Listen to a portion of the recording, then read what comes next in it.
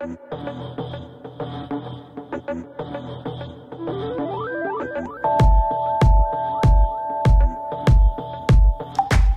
everyone, Joe here. Well, today I want to show you how to tether your Canon 80D with Adobe Lightroom 6 and CC. So, let's hop in here and get to this. Okay everyone, well, the first thing we want to do is make sure we have a tether cable. Now you can use the ones that are supplied with your Canon DSLRs, but your 80D does not come with even the small USB tether cable anymore. So you'll have to purchase one. Now I have one here, I forgot what brand it is, just a basic tether cable. You don't have to buy the expensive ones, but you will need one. Now, one thing to look for when you get a tether cable is make sure it does have the little magnet thing here on the end that helps you know keep the signal a bit cleaner. So, if you find like a tether cable, twenty dollars. So just make sure it's a pretty decent quality. Most don't work fairly well. All right, first take this in and plug it up to your computer. Now, you may have to plug it to the back of your computer, front of computer, wherever you have at least a USB 2.0 port. It doesn't have to be USB 3.0 because the uh, camera itself is still using USB 2.0. So let's plug this one up to the USB 2.0 that I have here. I have a little external cable there. All right. Now the other one here got a smaller end. We're going to plug it into our Canon 80D. So let me get this right here uh, turned around. We'll plug it up to the top port.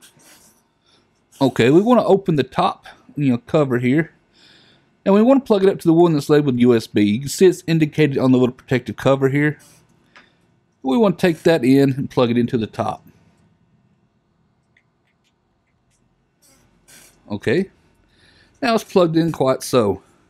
Now I highly recommend you get the little Velcro straps here to really help you know protect keeping that being jerked out or anything. Just a little protective, that way in case it's pulled on, it's not pulled out of the camera. Okay, well now we have the camera plugged up. Now let's get over here to Adobe Lightroom and I'll show you how to uh, set that up. Okay, we can first start by uh, opening Adobe Lightroom if you don't already have it open. And we want to go up to the top, says File. Then we go down to Tethered Capture. And we want to click on Start Tethered Capture. Okay, once we get this one open, we'll get a few options here. Now, session name, I'm going to leave it by tutorial because this is a tutorial for y'all. Now you can uh, change your naming settings if you want to. I got mine set to a few little custom ones here. It basically says, you know, tutorial, which is the session name, and the file number and date and everything. So then you want to go down and find out where you want to put it, but clicking on choose. All right. So I'm going to drop this one into test folder here and just choose that one. Okay. And the meta information, you can put your basic copyrights. You can choose all that for import. And the keyword, you can just put in what says test image, you can put down tutorial images.